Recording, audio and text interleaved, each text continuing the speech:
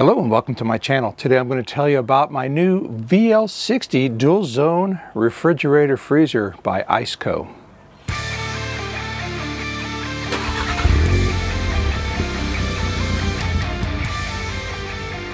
Welcome back and thanks for being here. My name is Scott and if you've been watching my channel for a little while then you know that I already have a refrigerator freezer for my car. It is able to, it's 38 quarts and I'm able to set it up as either freezer or refrigerator. I've been happy with that other one. But Iceco reached out to me and said, hey, we would like for you to review our product. So they sent me a link to this. It's, it's a monster. And they said, we'll give it to you, just check it out. And so how do I say no to that? So full disclosure, this is a paid promotion.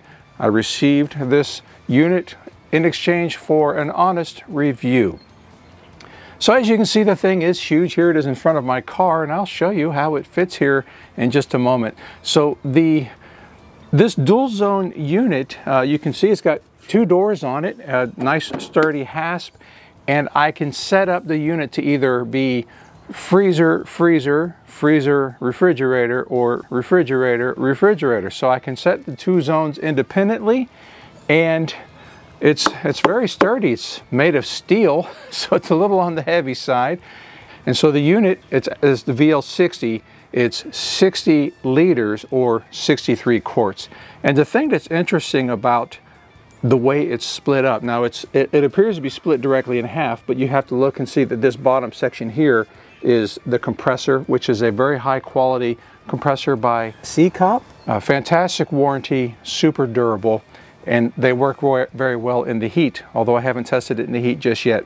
Of the 63 quarts, more than 38 of the quarts are right here. So my other unit is a 38 quart unit and it its contents can fit in one half of this unit, which I think is fantastic. so it, it gives me all kinds of options. So what happens is the stuff that I normally fill up with frozen goods in my other whole unit and then maybe I'll sprinkle a few refrigerated items on top. I can put all of my frozen stuff in one side and still have room left over and then put my refrigerated goods in the other side. I will get to that in just a minute. Uh, let's see, operating range. It can, it can cool from between zero degrees and 50 degrees Fahrenheit. And, or my other unit can go a little bit colder, but who, who does that? And all it does is just run continuously and it'll sack a battery pretty fast. So I, I'm okay with zero degrees. In fact, I think I have it set for zero degrees. Right now it's sitting at 5 and 27. That's not where I have it set, but I'll, I'll explain that in just a minute. The unit comes with both the AC and DC power plugs, and so here's my AC power plug. I have never even unwrapped it. It sits just like that all of the time. This here is a uh, a spare power plug from my other unit. The unit is actually plugged into my car right now using the supplied 12 volt plug, but realistically, shh, don't tell anybody, these are ROS compatible. And so I, I'm, I'm using their plug to bring the unit out here but in the car, I actually plug it into another unit, another plug that's already been cut and spliced into my system. Test on your own to make sure what you have is cross compatible. That's the disclaimer. Don't blame me if you cut a wire and mess up your stuff. So it's working for me just fine. So enough on the plugs. Let's take a look at the, uh, at the settings here. And so if we take a, a, deeper look here, here is the power button. Press and hold to turn the unit on or off. So there is off. If I press and hold and it'll turn it back on. Another option here is to turn on only half of the unit for to save power. I don't know how to do that, but it is an option. You can see my uh, my voltage and then so there's my you press mode once there's my my left side setting there's my right side setting and then there's what they actually say so you're probably asking yourself why is that so far off so plus or minus five degrees is acceptable on these but this one is way off and so that's a little confusing right I know I was kind of confused when I first started experimenting with this uh, I it, it is reading 27 degrees but that's 27 degrees at the sensor actually inside the fridge is maybe a little bit warmer And my fridge is empty right now, so it, it does work better when there are products inside the fridge that it's trying to uh, cool or freeze. So keep that in mind. You may have to tinker a little bit. I have placed some remote sensors in the bottom of my fridge so that I can uh, monitor things from the driver's seat. That way I know if I need to make some adjustments. Something I forgot to say earlier, or I might have misspoke, was after the settings, there's max or eco. And so I haven't, when I first discovered the temperature disparities, I thought it might have been because I was in eco mode. And so then I moved it to max and that's where I've been running it. This unit stays off a lot. And so when I turn it on, it's because I'm on the way to the grocery store and I wanted to get the temperature as quickly as possible. It's running off of the car's power while I'm driving down the road. And so I'm not worried about being economical. And so I, I just leave it in max, but I will do a round of testing with it in max and eco and show you the difference in battery endurance. And then the other thing here is the L. That is where the uh, uh, where the battery preservation is. I can either leave it high, medium, or low. And so basically what this is, is the battery voltage at forced shutdown. So I leave mine at the lowest possible setting, which means that the refrigerator will let the battery deplete as, to its lowest voltage before it shuts off. And, and that's because I'm running a lithium battery and I, I can afford to just let it run to L.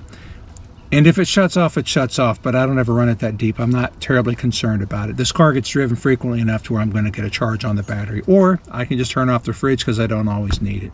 So here is the power input section. So it'll take uh, 115 or 240 depending on where you live, 50 or 60 hertz depending on where you live. And here is the DC input.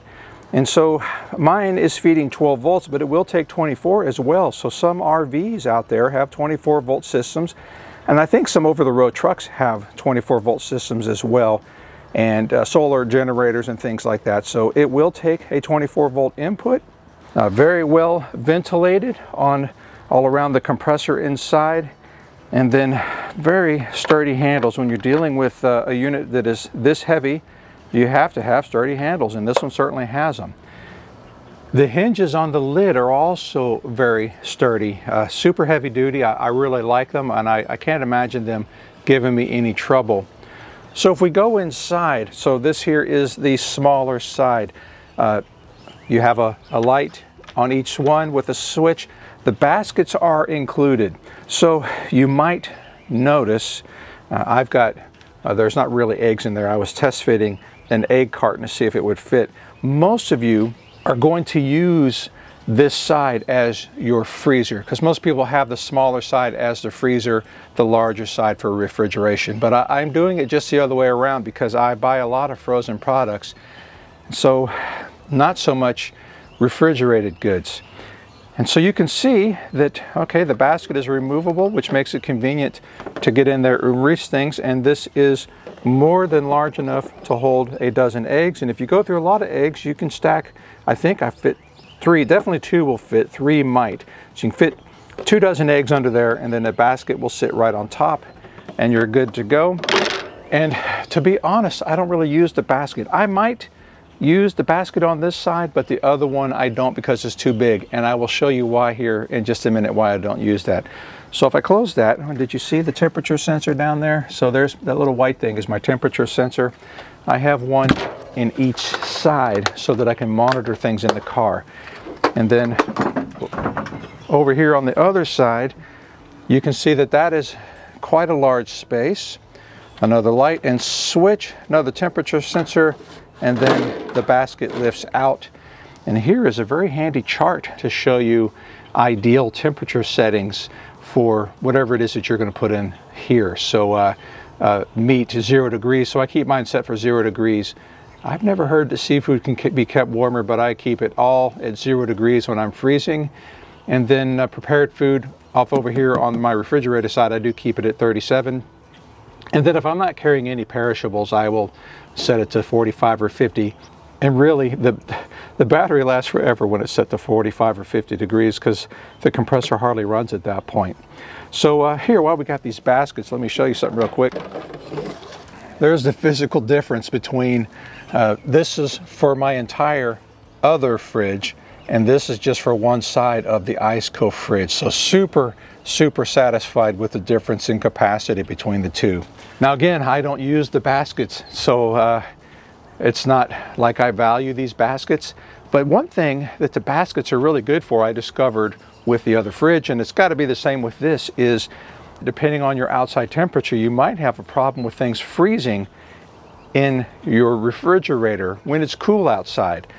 Using the baskets, what I have discovered is it helps keep your product from making direct contact with the interior of the fridge. So that should keep things that aren't supposed to be frozen from freezing. That's my thought anyway. Now before I put this in my car and show you how I use it, uh, I got to mention that Iceco also sent me a cover with this. This particular unit, the way it is marketed and sold, it comes with an insulating cover. And I'm not going to show it to you because it's to me it's a little cumbersome. I put it on and I checked it out, but what I didn't like about it, maybe this is feedback for Iceco, I don't even know if it's possible to do this, but it, it fits the bottom very well.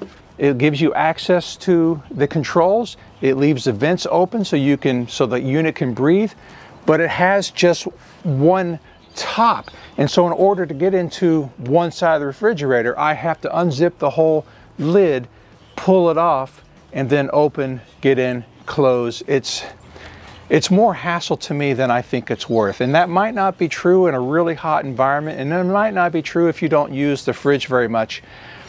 And it's probably not too much of a hassle if you are in an application that is tall enough for you to be able to open and close the unit very easily. A lot of people will put their fridges on a slide out and once you slide it out of the vehicle you have free and open access to the inside of the fridge and that insulated cover might not be such a hassle but in my application it's a hassle. I'll show you why here. Check this out. Let me go ahead and put this unit in the car and we'll give you some feedback on this. Like I said, the unit is not terribly heavy, but because it's so large, it is a little awkward to deal with. Plus I'm working around these sawhorses. Okay, so here is the unit as it fits right inside the trunk. And so it fits just fine. And as you can see, I think it'll close the door with it sitting right there. Nope, I gotta push it in just a little farther.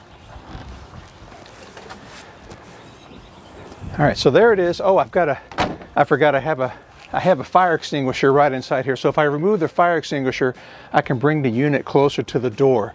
So what you might not be able to see is the unit is sitting about here on the glass.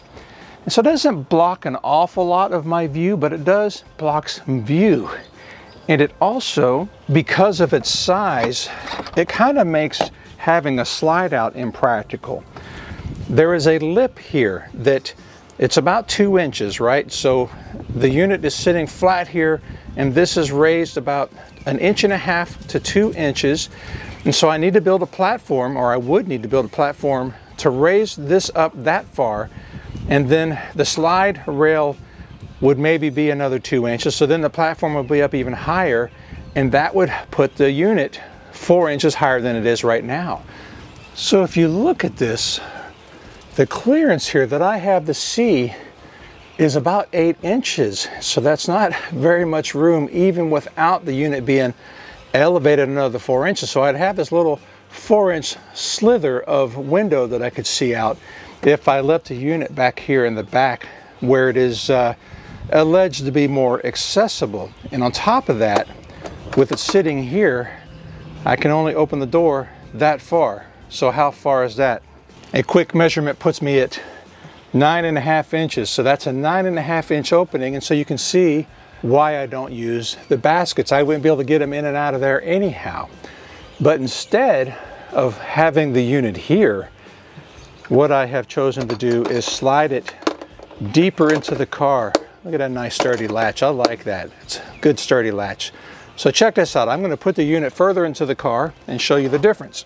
Now, if this was full, it'd be a whole lot more difficult, but it's not so bad when it's empty. Just shove it on through there. Pull this other cable through. I don't need it. There we go. I'm plugged in.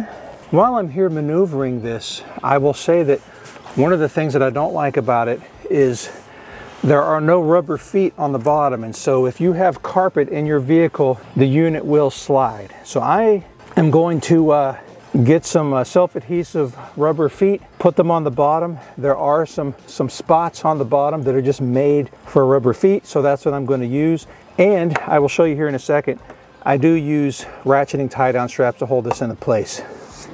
So anyway two things that we can spot right away is with it here the door does open more because the ceiling is deeper in here. So how high does that door open now? 14 inches. Okay, so another benefit of having the unit farther forward, now as I open this hatch, I have complete access to my cargo back here. I, if I need to come in this way to open the doors and get to them, I can, but you just saw that I can basically come right in here,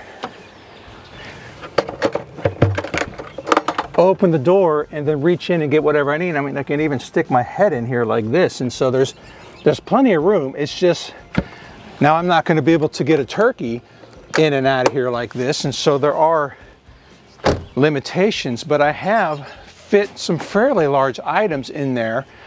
But the benefit, the other benefit of having the unit way up there in the front can you see my rear view mirror? Well, with the unit pushed all the way up there like that, the, the view through the rear view mirror, I can hardly even see the fridge because it is pushed up under the view so I can see out the entire back window with the fridge pushed forward like that. So keep that in mind, even in an SUV, if you're trying to figure out how to maximize your visibility, this is a good option, pushing everything forward. So what have I left out of this review so far? Uh, during the winter, I can't give the fridge a complete shakedown because it's not going to be tested that well in the winter when it's cold out. Temperature is not going to be very stable. I can't really test battery endurance. I do have a lithium secondary battery in the car. I can't test any of that stuff because the fridge is not running in the zone where most people are going to use them. So I think in June or July, maybe even August, I will do a follow-up during the hottest part of our year. Because what this car is pre presenting to the fridge that a lot of, I'll say, overlanders do not necessarily have is my car is parked a lot. Overlanders are driving a lot. Okay, they park too, but you know, they're out in the wilderness with the windows down and maybe, maybe their interiors don't get as hot as what I am going to subject the unit to because I'm a city dweller, right? So when this thing's in the car, the windows are up, it gets really hot in the car, and with my other unit, I could see at what temperature inside the car that the, that the fridge couldn't quite keep up. So I will give you another video, a follow-up in July or August. I am going to put this thing through its paces in the heat. I'm going to tell you what it does to my battery. I'm pretty confident that when I'm set up for either side being a freezer, it's going to suck the battery dry pretty quickly. That's just what I think. I'm also going to loan the unit to a friend who's going to put it in his RV and he wants to test it because he's interested in buying one of these for himself. So I'm going to give him a test run and I'll be able to tell you what he thinks of it. So stick around, check back for my follow-up. So initial review today, follow-up review in July. We'll say July. One more thing about the refrigerator. I'm not going to I didn't want to bore you with an unboxing. Unboxing? those, those are so boring. But, but I have to mention it about this fridge. It shows up, uh, you know, it, they, they bring it on a, uh, uh, on a dolly, so it gets tilted and everything. So that, that reminds me, when they deliver it, the fridge will have been transported and tilted and put on the wrong sides and everything. Let the thing sit for 24 hours before you plug it in and start using it because all that refrigerant has to settle back into where it belongs because it's probably been tossed around in every which way. But I got the box. It, the box is huge and it's got two straps going around it. Well, to get into the box, all you gotta do is cut the two straps and the lid just lifts right off. That was the easiest unboxing I've ever seen. Two straps, lift, done. Fabulous unboxing experience, so keep up the good work on that, Iceco. Check back in uh, for my follow-up video where I will have subjected this thing to heat and an awful lot more use. As always, I appreciate you being here and I will see you next time. Take care.